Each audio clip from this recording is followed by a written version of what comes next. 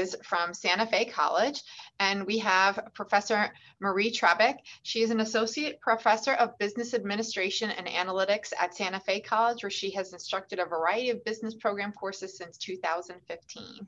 She holds a master's of science in health informatics from the University of Illinois at Chicago and a master's of business administration from Tiffin University. Prior to joining Santa Fe, Marie had over 15 years of industry experience, um, including the instruction for experienced hires of Big Four firms. So welcome and thank you, Marie.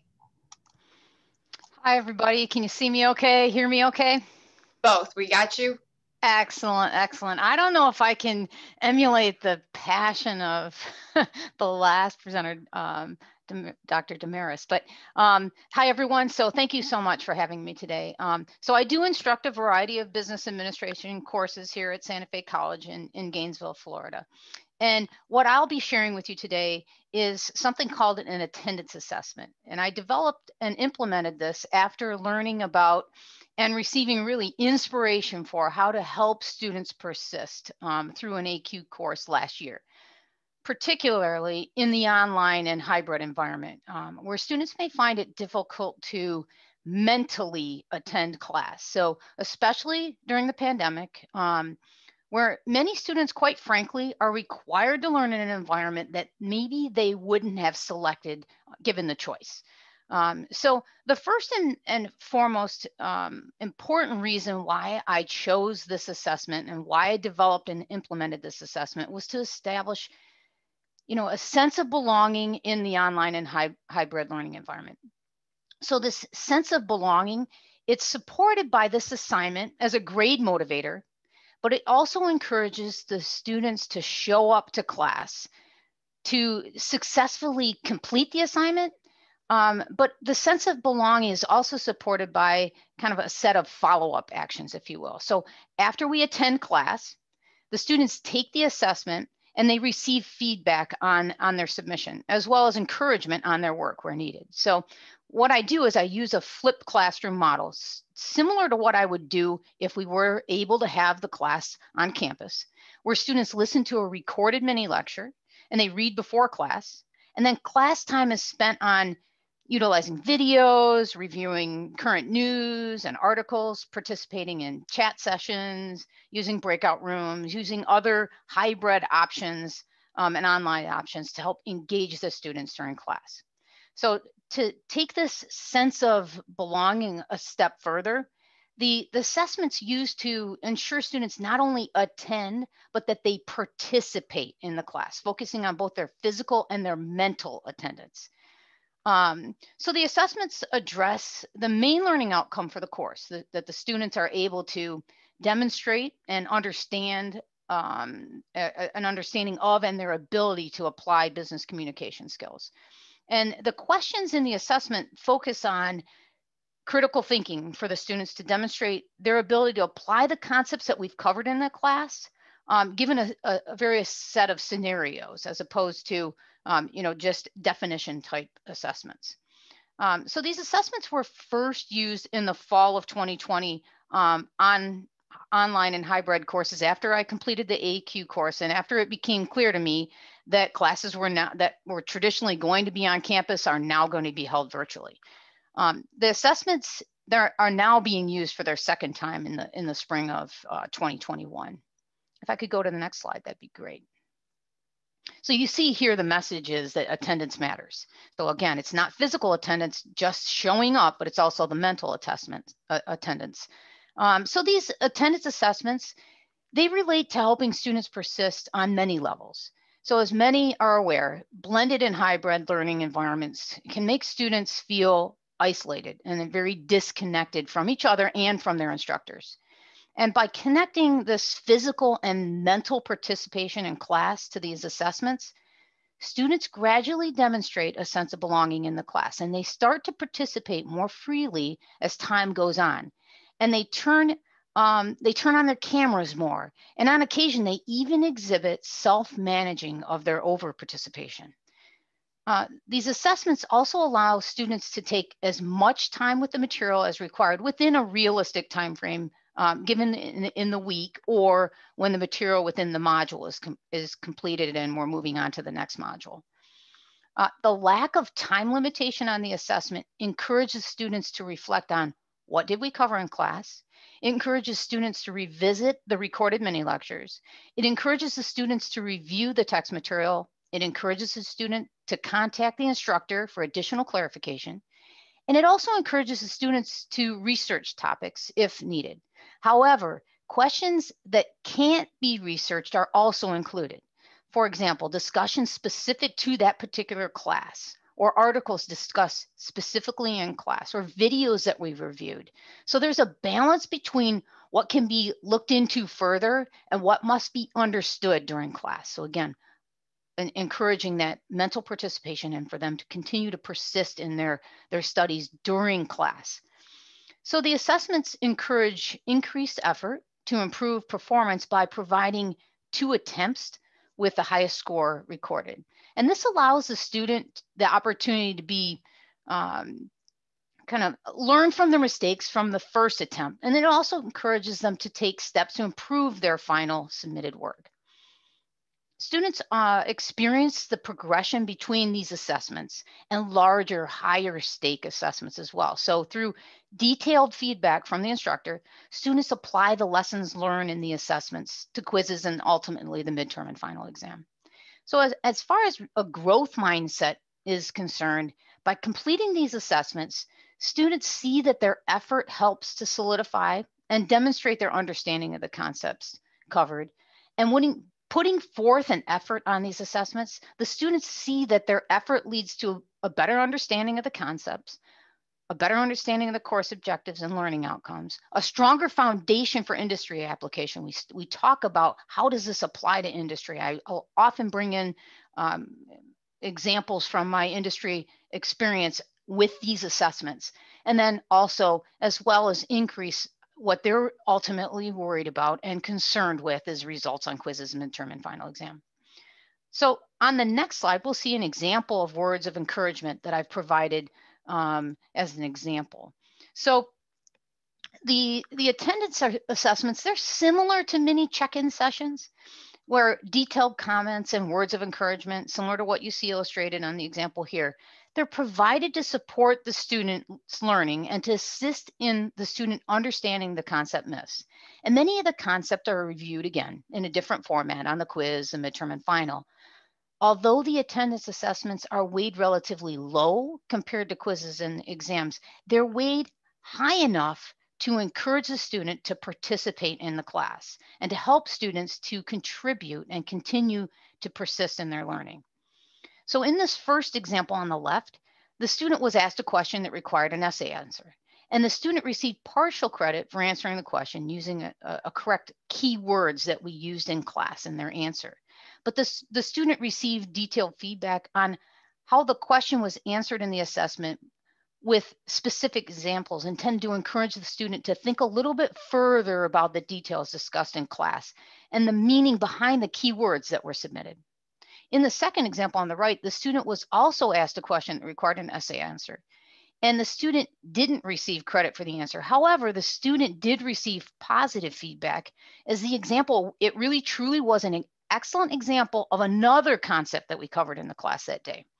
So with the feedback, the student is encouraged by uh, helping him or her understand further why the question was missed, um, why it was marked incorrect, but also supports their effort to continue to persist in understanding the actual concept that was actually supposed to be discussed in, in the, the question. So on the next slide, you can see um, the modality that I cover. So these assessments are used in online and hybrid learning environments. Um, I'm not teaching on campus at the moment, so that's where I'm using them. However, I am considering if this should be only given in the, the, the hybrid learning environment. So at the end of the se semester, a question in the course survey asked if they felt the attendance assessments were successful in connecting them with the course content as well as each other and their instructor. And the first survey in the fall of 2020 indicated the assessments did help students connect with their instructor and persist in their studies. since only one survey was conducted, I'm planning on a second survey to conduct that in the spring of 2021 to, to make sure that this should be both in the online and the hybrid learning environments. On the next slide, um, so these assessments are used in a variety of required courses for both the Associate of Science and the Bachelor's of Science core business classes. And the students that are in the required courses include traditional, non-traditional, as well as a significant number of dual enrollment students. Interestingly enough, the dual enrollment students and the traditional students seem to take more time with the attendance assessments than the non-traditional students. So I, I see students taking anywhere from five minutes to an hour on these assessments with the average being about 15 or 20 minutes. But I can see that those dual enrollment students and the non-traditional or the traditional students take more time on these. So an additional question at, in the end of course survey might reveal why this might be the case, and I'll implement that. Um, but it's also interesting to see that the dual enrollment students have also scored relatively high on these assessments, which is uh, something interesting to me because some of the non-traditional students might have more experience with the content that we cover in the class. So I'm not sure exactly why that is. The students that have experienced this assignment have ranged from very prepared to very unprepared. Uh, for the student that's unprepared, this assignment is likely to be more welcome as points can be earned on the assignment in a relatively relaxed environment with the elimination of a time requirement and also an additional attempt permitted. Okay, so on the next slide. So on the syllabus, elements of the class are explain, explained and, and highlighted. And this is just an example or an illustration of how the attendance assessment is summarized on the course syllabus. And in the first day of class, the importance of physical and mental attendance is discussed with the students, and it's stressed that the class is not recorded. So they can see a connection between mental attendance and these assessments. So recognizing the fact that students are very interested in grades, we start to talk more and more about the connection between class participation and especially in this hybrid learning environment.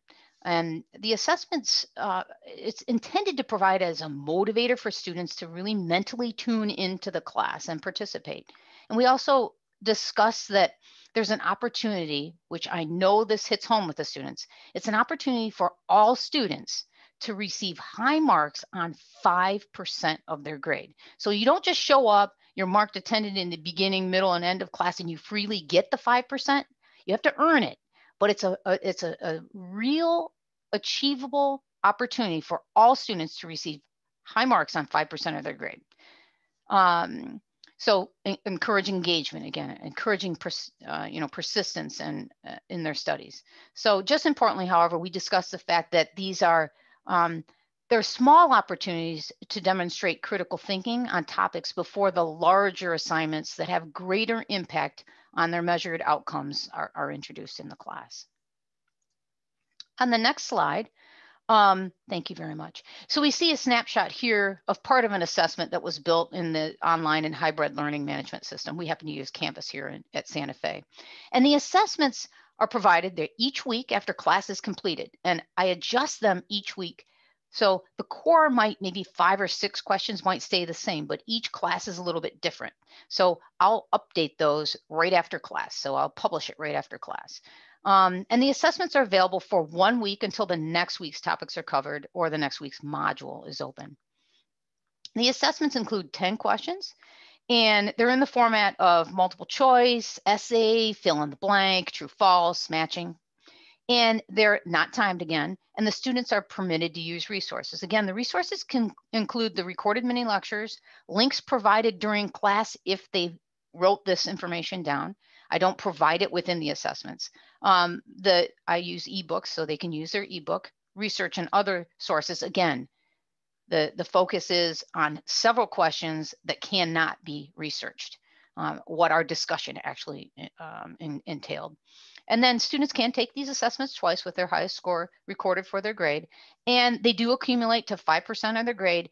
Um, so achieving this mental attendance, it's, it's challenging and it's critical in all classes, but it's especially difficult to achieve this mental attendance in the hybrid learning environment. So in, to ensure these students are truly in attendance, um, this participation and mental, mental attendance is, is stressed.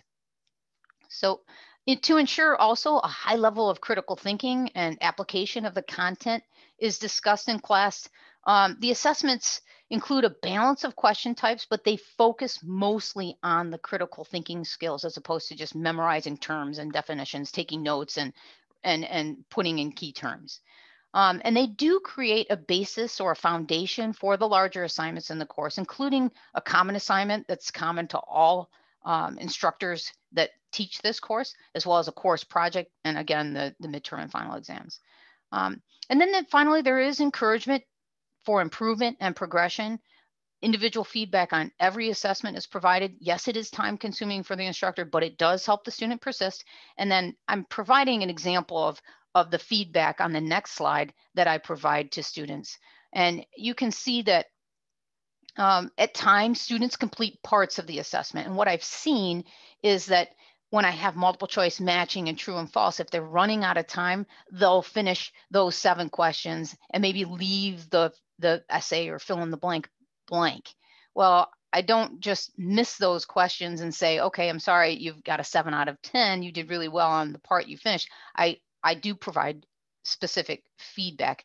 And so the feedback you can see it, uh, an example provided here, encouraging them to persist in their studies. So in this instance, um, we looked at a TED talk. Um, and so I've provided a link to that TED talk that we talked about and we covered in class. It was a seven minute um, clip on uh, global, global markets. Um, so I provided this feedback to the student, and encouraged the student to go ahead and revisit this TED talk because those concepts are going to be covered again. Um, in addition, one of the questions that was answered incompletely is addressed. So to include an explanation of the elements that were missed um, in the essay question. On the next slide, please. Thank you. So at the end of the course, there are two anonymous course surveys that are provided to students. One of those course surveys is developed by me, the instructor, and the goal of these the survey is to understand what's difficult for the students, what's working well, and what may require improvement. And the survey is typically around 10 questions. So I provide this survey at the end of the course, and I also provide around week seven before midterm a survey, um, not in Canvas, but using uh, forms just to see how, how are things coming along. And it, uh, addresses something very similar to this. And you can see question six here. It's one of the 10 survey questions asked of the student, and it focuses on their perspective of these attendance assessments. Um, in a minute, we'll look at the next slide and the, the, results of these surveys. But what was learned from the first semester in the fall of 2020 when these assessments were used is that the focus was limited to mini check-in sessions as um, to keep the students on track. And this second semester, the spring of 2021, um, this focus expanded because of the results of the survey um, to not just make sure that students were keeping on track or uh, on track with what we're learning, but to also demonstrate again that main learning outcome that I wanted to achieve in the class, which is to apply business communication skills. So I did make some adjustments there. So on the next slide, thank you very much. you could see a sample of the anonymous course survey results from the first time that the assessments were used. And overall, the assessments did appear to positively um, be received by students. And the majority of students um, do participate in the hybrid class, much to my um, relief, to be honest with you. I was a little bit anxious about the hybrid classes myself.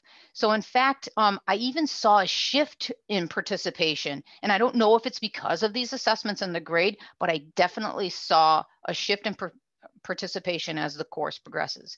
Um, and I also saw that students were starting to move away from taking advantage of two attempts and using one attempt to complete the assessments. So my hope is that students saw the benefit of mental attendance and efficiency use of their time and avoiding the need to spend unnecessary time outside of class um, and use their time wisely while in class. Again, one adjustment was made to the questions to focus more on the students' understanding of concepts along with this learning outcome of applying business communication skills. Um, finally, my advice, which I have not implemented yet, is to use one or two trials before these assessments are used for a grade. Um, what I'm considering doing in the summertime is use these assessments for one or two weeks for a practice grade to get the students familiar with the process and what the expectations are, and then um, and then then implement them maybe in week three. And the reason I'm doing uh, considering doing that is because students do appear to improve on these assessments as the course progresses. Um, so that wraps up the summary of the attendance assess assessments and how they were implemented in the online and hybrid learning environments to um, help my students persist in their learning. Thank you very